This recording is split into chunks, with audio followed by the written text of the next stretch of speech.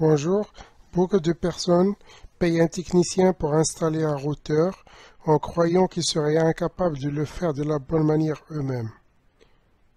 Pourtant, l'installation d'un routeur Wi-Fi se fait très facilement en seulement quelques clics et en suivant une procédure simple de branchement du fil Ethernet. Mais bien sûr, il faut d'abord choisir un bon routeur. J'ai déjà réalisé une vidéo sur le meilleur choix des routeurs vous trouverez le lien dans la description de la vidéo. Ici, je vous présente à travers l'exemple d'un excellent routeur, le D-Link DIR 3040, avec des caractéristiques optimales et meilleure qualité-prix. Nous allons voir comment l'installer et le configurer facilement. L'installation et la configuration d'un routeur peut se faire de deux manières, soit à l'aide d'un ordinateur PC, soit en utilisant une application mobile directement sur votre smartphone. Avant de détailler la procédure d'installation, nous allons commencer par ouvrir la boîte et voir les caractéristiques techniques du routeur que nous allons utiliser. Le routeur D-Link DIR 3040 est un routeur tri-band muni d'excellentes caractéristiques dont les plus importantes sont écrites sur la boîte il est muni d'une puissance AC3000, ce qui signifie qu'il peut aller jusqu'à une vitesse de 3000 mégaoctets par seconde. Il peut accepter le Wi-Fi maillé en achetant les accessoires nécessaires pour cela. Il est très bande, donc il utilise trois bandes de fréquence, une à 2.4 GHz, une à 5 GHz, une troisième aussi à 5 GHz. Il possède un processeur double cœur de bonne qualité et il est compatible avec le contrôle vocal d'Amazon et de Google. Il possède aussi une option de contrôle parental pour éviter que vos enfants visitent des sites douteux. Toutes les caractéristiques importantes sont résumées sur la face de la boîte.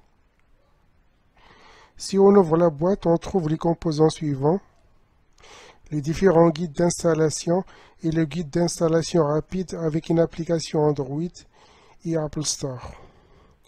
Il suffit de suivre le manuel pas à pas pour pouvoir installer le routeur facilement. Le routeur D-Link possède 6 antennes et il possède aussi plusieurs sorties. Une sortie USB 2.0 5 sorties Ethernet, une deuxième sortie USB 3.0, une sortie de branchement au secteur électrique, un trou pour la réinitialisation du routeur et un bouton pour éteindre ou allumer le routeur. Les six antennes peuvent être orientées dans différentes directions pour une meilleure réception. La boîte contient bien sûr le fil de branchement au secteur électrique, et un fil Ethernet. Nous allons voir maintenant comment configurer facilement le routeur D-Link avec une application Android ou iPhone. Pour cela, il suffit d'installer l'application officielle du D-Link qui se trouve dans Google Play ou d'installer l'application iPhone. Après avoir téléchargé l'application, on va la lancer sur le smartphone. On clique sur l'icône pour installer un nouveau périphérique, puis cliquez sur Scanner le code QR qui figure sur le manuel d'installation rapide du routeur. Scannez le code avec la caméra de votre smartphone. Par la suite, il suffit de suivre les autres étapes qui s'affichent sur l'écran de votre smartphone. Il faut débrancher complètement votre modem pour le mettre hors tension puis branchez le câble Ethernet qui sort du modem à la sortie Ethernet du routeur. Branchez ensuite votre modem au secteur électrique. Attendre quelques minutes que le modem remarche. Allumez ensuite le routeur et le branchez au secteur électrique. Attendre quelques minutes que le routeur redémarre.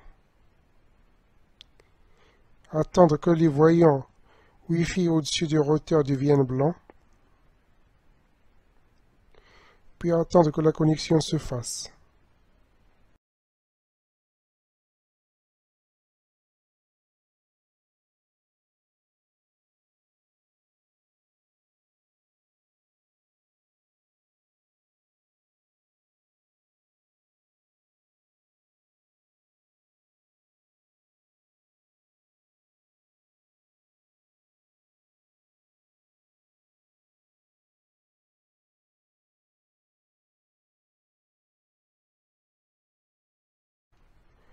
Votre routeur est maintenant connecté et prêt à l'usage.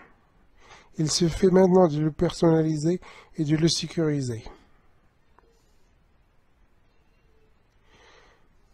Donnez un nom et un mot de passe à votre réseau, puis enregistrez votre choix, puis attendre la fin de l'enregistrement. On peut aussi s'inscrire au cloud pour utiliser le service Alexa ou l'assistant Google, ce que je ne vais pas faire ici. Votre réseau est maintenant configuré.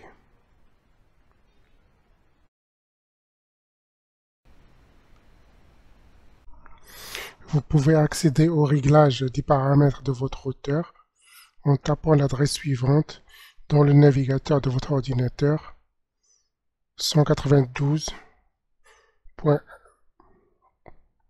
192.168.0.1 Le type de paramètres à régler dépend du routeur que vous avez choisi. L'exemple que j'ai choisi pour cette vidéo, le routeur D-Link 3040, permet entre autres de configurer le QoS aux qualités du service en français. En gros, il permet de gérer notre réseau Internet pour donner la priorité d'accès à Internet aux appareils les plus importants pour vous ou dépend des autres, ce qui augmente bien sûr la performance du service pour ces appareils. Je prioriserai par exemple mon PC si j'utilise beaucoup le télétravail à la maison. L'autre paramètre qu'on va régler, c'est le contrôle d'accès à certains sites pour vos enfants ou le contrôle parental. Si vous configurez cette option avec l'adresse des sites en question, ils ne pourront plus y accéder.